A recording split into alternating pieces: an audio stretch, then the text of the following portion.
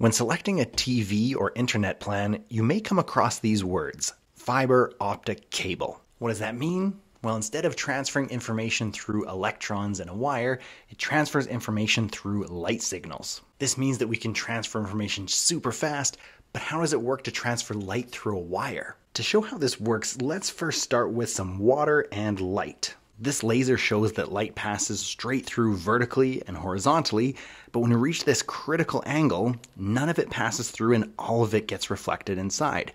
This is called total internal reflection. Here I have a glass tube that represents a fiber optic cable, and we can see that it sends all the light through the coil and out the other side. To see the total internal reflection, let's try it with the laser. The laser shows that when I try to get the light to leave, it's beyond the critical angle and totally internally reflects, keeping all of the light inside of the tube.